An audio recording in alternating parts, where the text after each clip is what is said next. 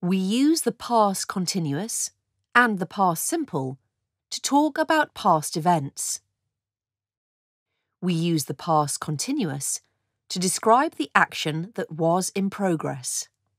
We use the past simple to describe the completed action. I was taking photos when I saw a dog.